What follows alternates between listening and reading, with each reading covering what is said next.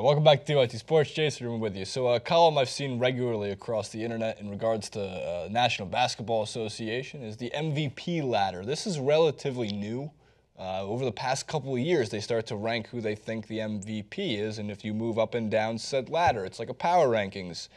And if before the season you said, like I said, uh, there's this was the reaction, man. If Kevin Durant's going to the Warriors, can he win the MVP? If he goes to the Warriors. And I will use SpongeBob to explain preseason writers about Kevin Durant. No, no, no, no, no, no, no, no, no. It's true. Now, if you fast forward to halfway through the season before we get into some numbers, more SpongeBob. Hi, Kevin. Hi, Kevin. Hi, Kevin. Hi, Kevin. I'm your biggest fan. Yeah, about that. See, what's going to happen, unfortunately, as we get towards the end of the season, is that they're going to find that Kevin Durant might put up one of the greatest shooting seasons in NBA history right after Steph Curry put up one of the greatest shooting seasons in NBA history.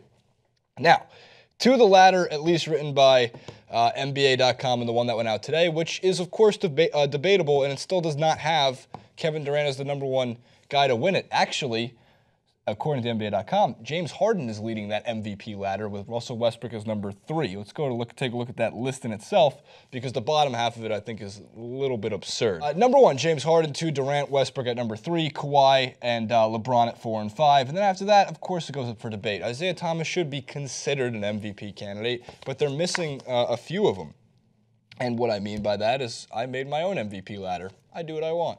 So if we go to the next element, I think this one's a little bit more fair. I didn't really change all that much. Aside from, sure, right this second, James Harden, I think, is edging out Westbrook ever so slightly because of the Rockets' uh, record, and Westbrook is starting to fall short of the triple double average. I think record shouldn't matter if the Thunder are in the playoffs and Westbrook has a triple double. You should vote for him for MVP. But if he falls short of that average and he falls short of history in that regard, James Harden, I wouldn't be surprised if he takes it. Kevin Durant's going to start to rise up that ladder in just a second. Uh, the reason there's two stars next to LeBron James' name, he's the best player on the planet at all times, even at this point in the season, even when the Cavs are struggling. You're going to take one player to win you a championship right now. It's fucking LeBron James. He just did it last year. Back to that graphic because I want to talk about the bottom half really quick. Uh, where's the love? I used to give Kyle Lowry a lot of hate. Uh, Kyle Lowry has been instrumental to the Raptors' success this year. John Wall is pretty damn good at home. Chris Paul should probably be higher on the list too. I put him at number nine because uh, the Clippers are going to struggle without him. We talked about that with Jarrett Jackson recently. And come on, guys, it's the process. They changed the culture. He's literally responsible for wins when he doesn't even play. Joel Embiid deserves some MVP love. Not number one, two, three, four, or five. And this isn't the top 10 best players in the NBA right now. It's the MVP, most valuable player to your team. But let's talk about Kevin Durant for one more second because his true shooting percentage is through the effing roof. And the only company his field goal percentage is in is big men. Um, Tyson Chandler, Rudy Gobert, DeAndre Jordan, Harrell, Nikola Jokic, JaVale McGee, what do they all have in common? They shoot the ball three inches from the basket, and most of their, their scores are dunks. Kevin Durant, most of his scores aren't dunks. He's shooting it from the mid range, he's shooting it from three. He's driving, dishing, and everything that goes along with making him one of the deadliest scorers in the NBA at this moment and one of the best scorers we've seen in the last 20 years.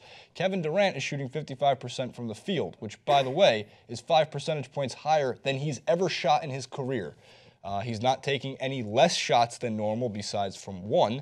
He's averaging enough to be in the top four scorers in the league. The Warriors are going to probably win 70 games. And yeah, you're going to have to start giving some attention to Kevin Durant as the MVP of the league. I can't believe I have to say that because I wouldn't vote for Kevin Durant, but we're going to have to have that conversation when we get to that point. MVP is the most debated thing in the NBA season, I'm pretty sure, aside from All Star game. But what we found this year is the All Star game is meaningless. Um, I just needed to shed light on Kevin Durant shooting. I think that we've fallen behind on how amazing of a player Kevin Durant is because of the narrative that he's on the Warriors, he's a giant pussy, and we should be really immature and, and petty about it because we're not going to watch him. Here's what I can guarantee you. All those people who say they're not going to watch Kevin Durant, guarantee you, Warriors versus Cavs finals, highest rated finals in NBA history. Absolutely guaranteed, which means people are going to watch Kevin Durant play. I still have Russell Westbrook. Yeah, I still have Russell Westbrook. Number one MVP if he gets the triple double and finishes an eight seed or higher. History trumps everything. Uh, obviously, maybe Enes Kanter because without him on that team, they're struggling. They're 0 3 without him. But regardless, after that, James Harden. Number three, Kevin Durant. There's it. Number 10, Joel Embiid. That's all that matters. Leave your MVP ladders in the comment section below. It's a fun segment to do. It's interesting. I want to know what you guys think who the most valuable player in the league is about 55 games into the season. And we'll see you on Sunday with a lot of Super Bowl content.